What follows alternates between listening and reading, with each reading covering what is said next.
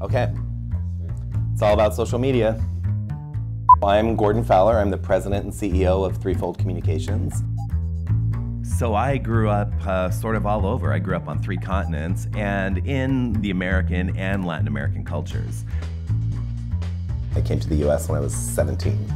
I did the young and poor and broke in Manhattan. It's always a good way to start your life. I think I always understood that context, especially around culture and around relationships, really affected how people relate to the world around them. It's about embracing diversity and inclusiveness. Those aren't trends, but they're really mandatory if you want to be successful. Lots of good work and lots of good work left to be done, for sure.